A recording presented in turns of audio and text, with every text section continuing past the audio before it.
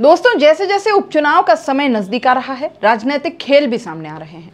हर कोई अपनी अपनी तरह से सियासी गणित बिठाने या बिगाड़ने में लगा है। सभी जानते हैं कि सलूम्बर और चौरासी सीट दोनों ही इस बार की हॉट सीट बनी हुई है और सभी पार्टियाँ अपना पूरा दमखम इस पर लगा रही हैं। हर हाल में बीएपी इस पर काबिज होना चाहती है। तो भाजपा के लिए यह प्रतिष्ठा का सवाल है। दूसरा, अमृत मीणा की मौत के बाद वहाँ सहानुभूति लहर का फ़ायदा भी भाजपा को मिल सकता है। और कांग्रेस का तो परंपरागत वोट बैंक आदिवासी हमेशा से रहा ही है। तो कुल मिलाकर मुकाबला तो त्रिकोणीय ही दिख रहा है और ज़बरदस्त दिख रहा है। अब किसका किससे गठबंधन हो जाए, यहाँ खेल कभी भी पलट सकता है। आप जानते हैं कि पिछले दिनों बीएपी पार्टी के सांसद राजकुमार रोत को लेकर कई तरह की खबरें हवाओं में तैरती रही। यहाँ तक कि एकनाथ शिंदे के साथ जाने की खबरें भी वायरल हुई। हालाँकि सांसद रोत ने इसका खंडन किया और कार्यवाही की बात भी कही।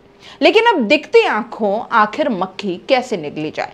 जब भाजपा प्रदेश प्रभारी राधा मोहन दास अग्रवाल ने हाल ही में अपने दौरे के दौरान कहा कि मैं तो चाहता हूँ कि बांसवाड़ा सांसद राजकुमार रोत बड़े नेता बने।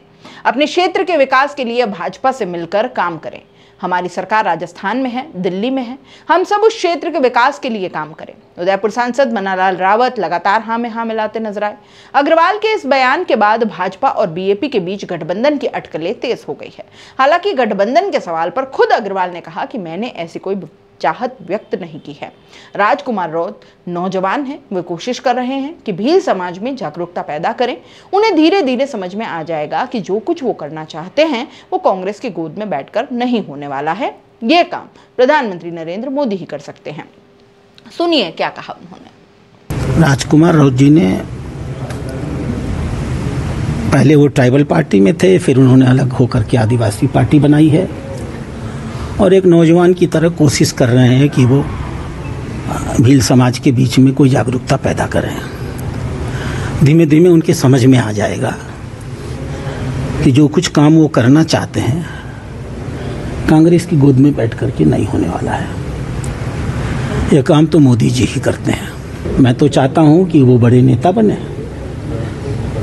अपने क्षेत्र के विकास के लिए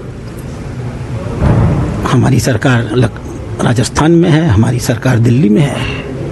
मिलकर के काम करें हम सब उस क्षेत्र के विकास के लिए। सुना आपने? अब उनका इतना कहना था कि इधर सांसद राजकुमार रोत ने उनके इस बयान या तारीफ़ को अपने सोशल मीडिया हैंडल पर शेयर करते हुए लिखा कि आज़ादी के 75 वर्षों के बाद भी आदिवासी क्षेत्र के सर्वांगीण विकास एवं आदिवासियों के हक अधिकारों के लिए किसी नेता ने काम नहीं किया। इसलिए आज बीएपी पार्टी के सांसद और विधायक काम कर रहे हैं।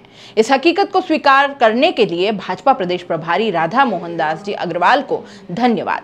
आपसे उम्मीद है कि उदयपुर एवं बांसवाड़ा संभाग के बीजेपी नेताओं को सद्बुद्धि देंगे। अब दोस्तों, यहाँ फिर से दो सवाल खड़े हो गए हैं। कि सांसद राजकुमार रोत ने क्या ये कहकर भाजपा पर गहरा कटाक्ष किया है? अगर कटाक्ष है तो बहुत गहरा है कि अब तक किसी ने कोई काम नहीं किया, फिर चाहे वो बीजेपी हो, चाहे कांग्रेस हो। और ऐसे में दोनों दलों की फजीहत हुई है। और अगर कहीं ये वाकई तारीफ़ समझकर धन्यवाद है तो फिर जरा दाल में काला भी नज़र आता है और गठबंधन की सुखमुगाहट भी दिखाई देती है। अब असल में क्या खिचड़ी पकती है या अंदर खाने पक रही है यह बहुत जल्द सामने आएगा। वैसे आपको क्या लगता है, बीएपी गठबंधन करेगी? और अगर किया तो किससे? क्योंकि ये राजनीति का ऊँट है, किसी भी करवट बैठ सकता है।